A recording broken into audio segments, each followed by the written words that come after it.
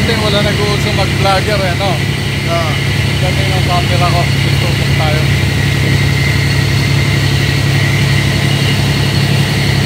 Off the grid.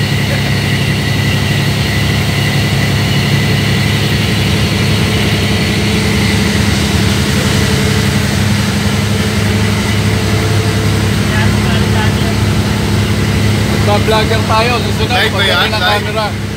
Naka ano lang, naka-video lang.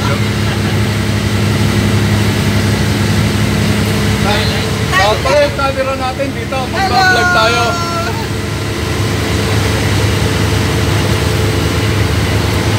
Yayamanin?